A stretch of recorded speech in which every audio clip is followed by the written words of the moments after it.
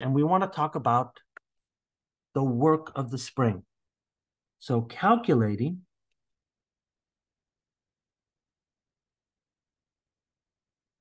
the work done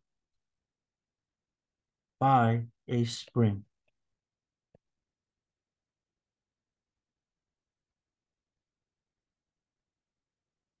So by definition, the work energy theorem says that the work, you know, in the past, what we said here is that it was the force times the displacement. This is only true if it's a constant force. So for a spring force,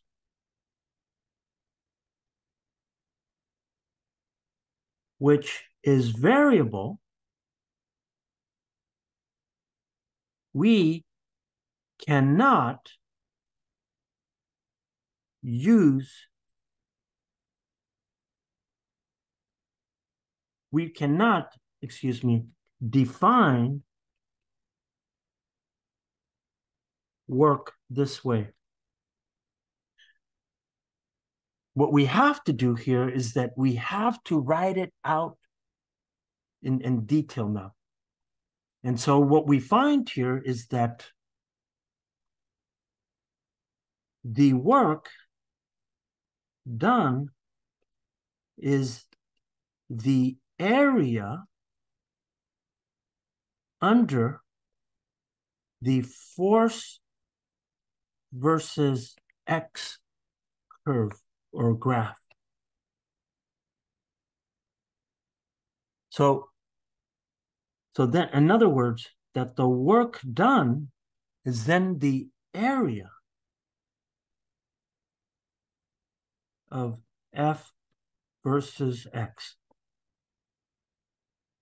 And picture-wise, what this means here is that if I have a plot, and if I have a variable force, so I'm going to say that this is a variable force, and it has some curve. Maybe the curve goes like this, and it's showing that it's not a constant curve. Then when I go and I calculate this area, this area right here is equivalent to the work done for this force versus time curve. So um, in the past, what we had here is that it was still a constant, if I had a constant force, then in this situation, all I had was a straight line, and it was still this area.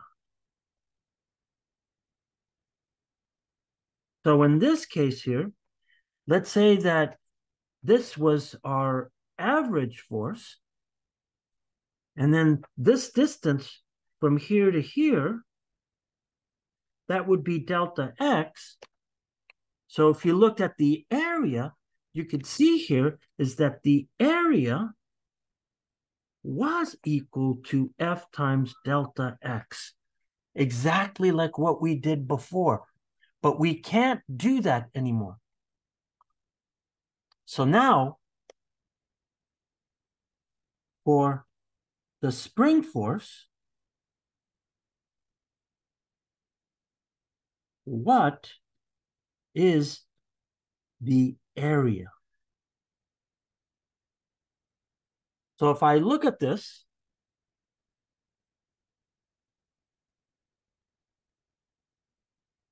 let's say that I, I draw a curve like this. Now, what I know about the spring force, the spring force is minus kx. And we're going to plot x right here. So that means here is that this line here has to be a linear line with a negative slope here. So if I was to draw a line, let's say it looks like this right here. So what you're seeing here is that that's my spring force. And now what I'm going to do here is that I'm going to start to look at this in terms of what actually happens here. So let's look at a picture here. So imagine that this is where we start at. I put a spring like this, and there's nothing attached, right? So there's nothing attached. So as soon as I attach something, now what happens here is that the spring has now stretched out.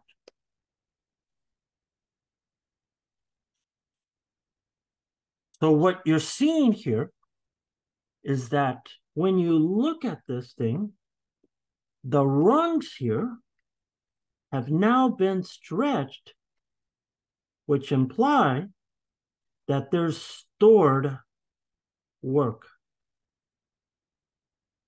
So I'm going to come over here to this point right here, and I'm going to call this distance now, because there's stored work, I'm going to call this distance right here x1. So I'm going to call this x1.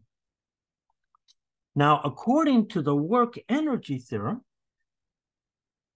if I now take the spring and I stretch it even more so, so that it's down here. And so at this point, we're going to call this point x2. So if I compare, then the distance between here and there is then going to be delta x. So that means here is that if I move this from this guy to x2 here, you're going to find that the area under the curve follows this type of curve, this type of area right here. So this becomes the area.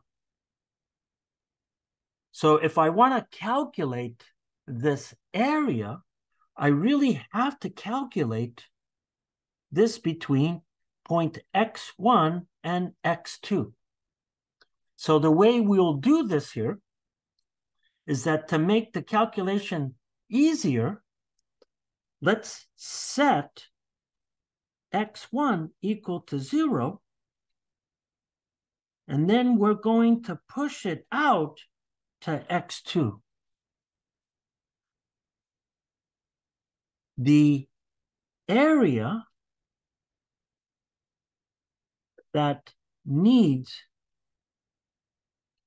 to be calculated is then this triangle. And so when I look at this triangle, you could see here is that I have a triangle that goes like this, and then it goes down. And it's going to go to, let's say, right here. Now, when I look at this, the shaded area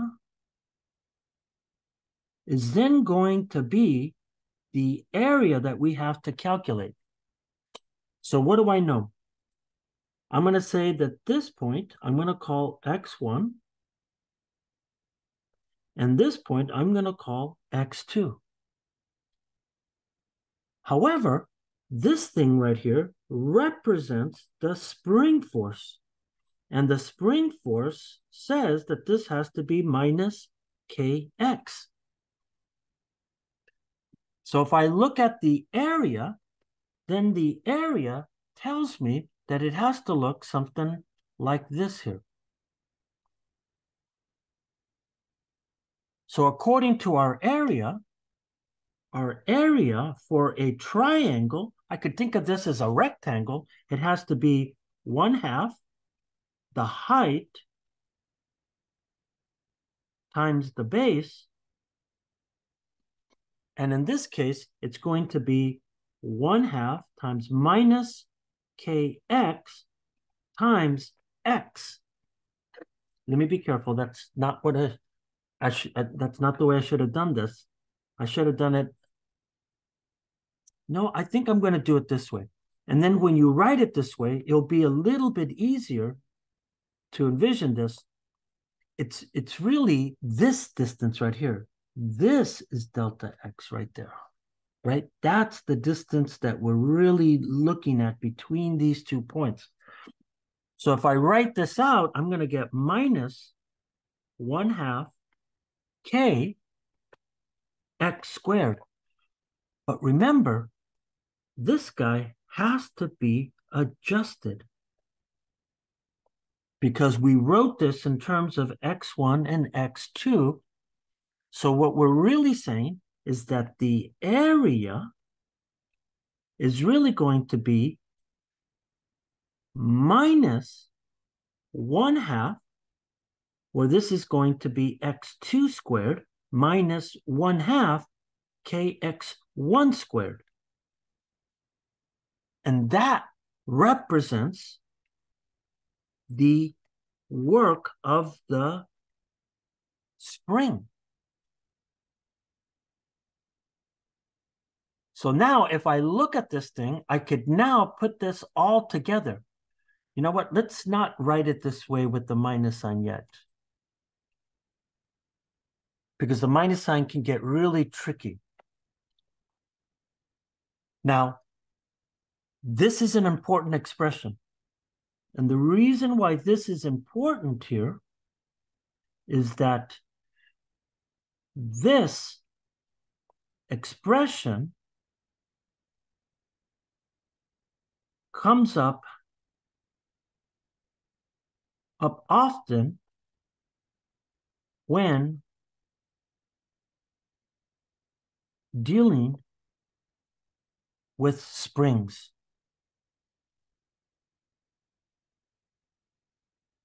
So then we have a notation change. And our notation says is that from the work energy theorem,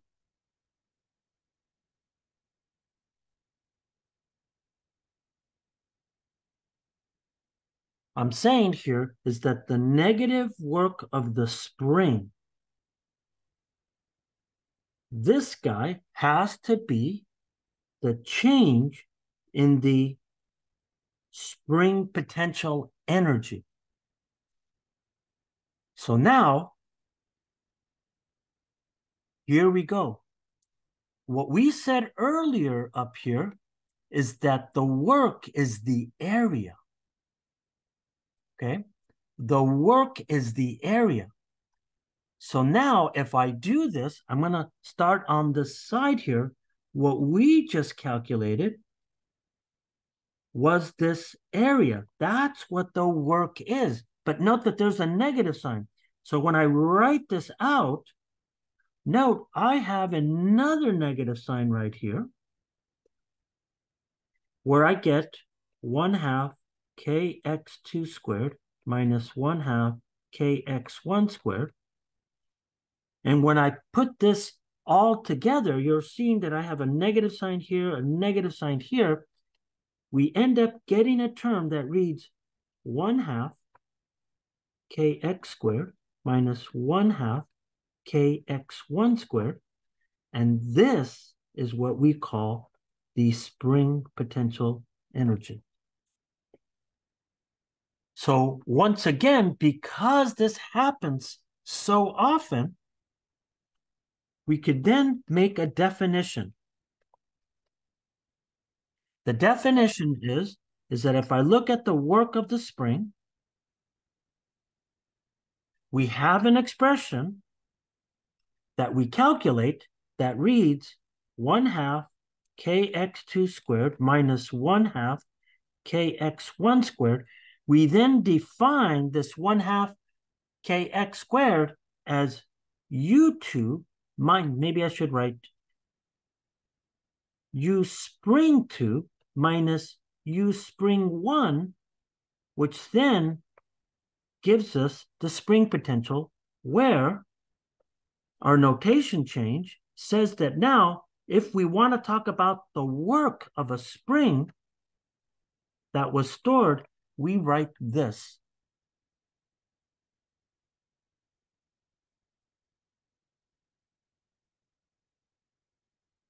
That's what we mean by the spring potential energy as being stored work. So as before,